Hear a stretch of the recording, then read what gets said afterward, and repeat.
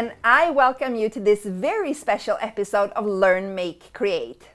You see, today I'm thrilled to be here to show you the knit crocodile stitch that I developed and used in the crocodile knit Christmas tree that I designed for Annie's. It was a while back when I stumbled over some crochet crocodile stitch patterns and I couldn't find a knit version. So I spent days and days trying and trying, doing lots of math and trial and error samples until I was happy with what I came up with. And from there, I started creating different knit designs using this very special stitch. So why don't we get started by printing out the pattern and taking a closer look on this exciting new stitch.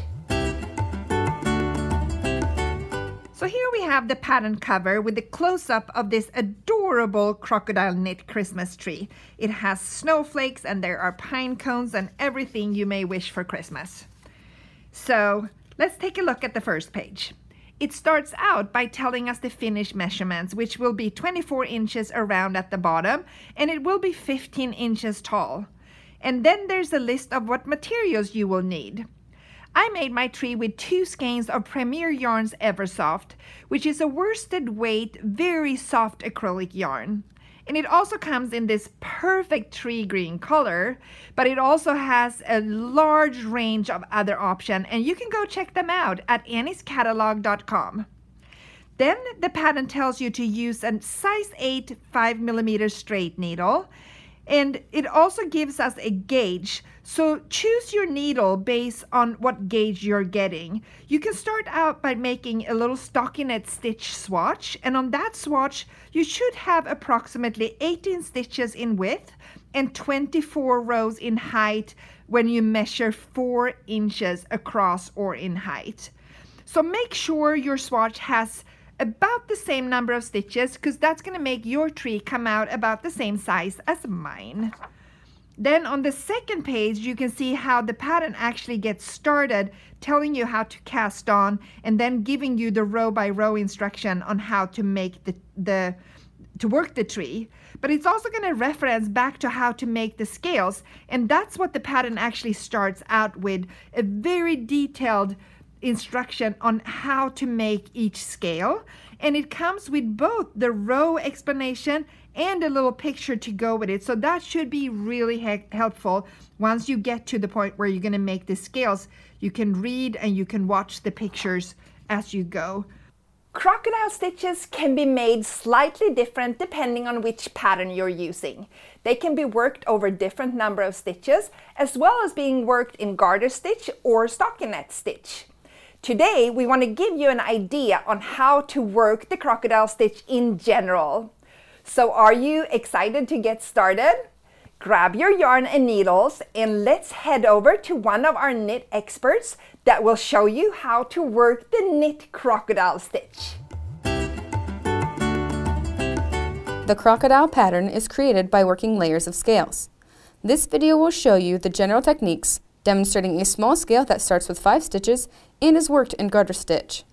Each scale works into one stitch, and you work all rows of one scale before you continue working the row.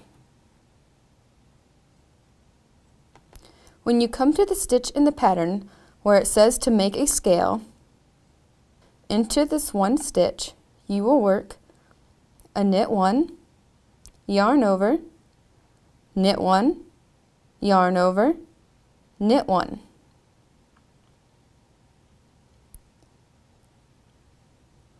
So we now have five stitches in one stitch. Turn your work. And we are now on the wrong side and we'll knit these five stitches back. One, two, three, four, and 5.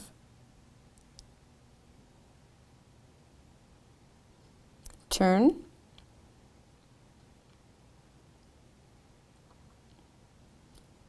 And knit the first two of the 5. And in the next stitch, we'll do another increase. So we'll knit 1, yarn over, knit 1, yarn over, and knit 1. Knit the last two stitches. And you now have nine stitches. Turn our work. And now, knit the first stitch, then bind off the next seven stitches.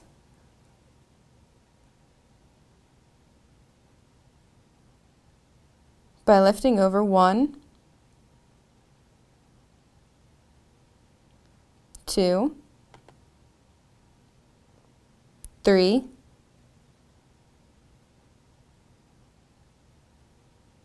four, five. And the last two stitches.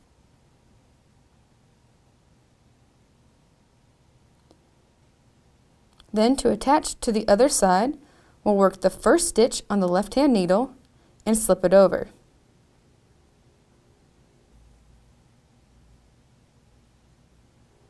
Turn, knit the first stitch,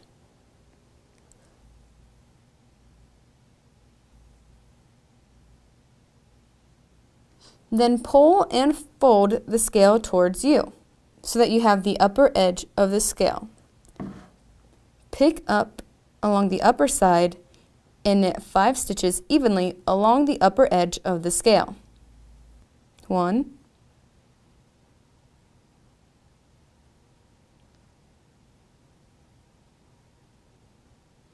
two, three,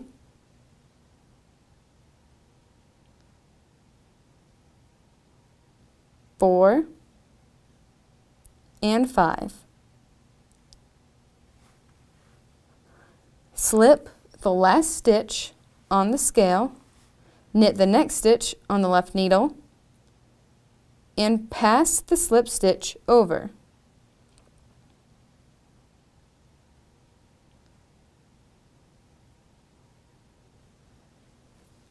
There's that scale, and we'll continue knitting the row according to pattern.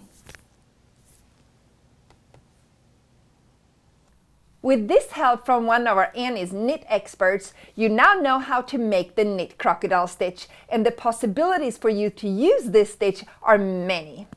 I hope this demo will inspire you to knit up this lovely tree along with some handmade ornaments to add your own personal style. Maybe you'll even add a string of lights to make it really pop and sparkle.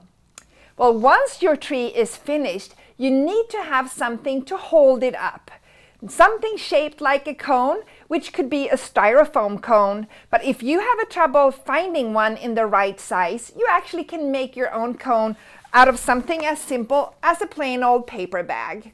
That's what I did for the photo of my tree, and I will now show you how to make one. Okay, so it all starts with just a plain paper bag. We will also need some tape, maybe a stapler, and scissors. I already prepared here by splitting up the bottom of the bag so it's open. And then let's just remove the handles. Just like that. So now I folded the bag like double, like this, flat, and then I'm just gonna fold it together like this, like putting the ends over each other, creating a little fold in the center, and start twisting these papers together into somewhat of a cone shape, like that, or this way. And I put my hand in here and kind of pull it together tighter and tighter into this cone shape roughly. And once I feel like I have it somewhat under control here, I'm going to use the stapler and I'm just going to help myself putting a little little stamp there to hold it and then lay it flat. So where I have the opening here. That's where I'm going to cut right across. So here we go. Just cut, cut, cut. Just like that. As you can see, now it's really starting to get a cone shape. And now when we have it like this, you're going to have sides there. And that's where I'm just going to grab my tape,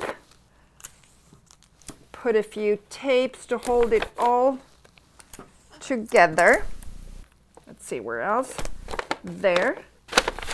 And now we have a cone and it's pretty sturdy too. But once you put it down on your table, you might see it's tilting a little bit and you might want to have to even it out a little bit to make sure it really stands straight on your table.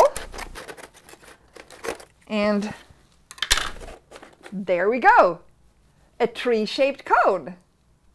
We all know that soon there will be another Christmas coming up, so let's not wait getting our tree production started. And once your tree is finished, I would love if you would share your pictures with me and my team over on our Facebook page for Annie's Creative Studio. And I hope you're going to enjoy this new stitch, and I also hope to see you soon in another episode of Learn, Make, Create.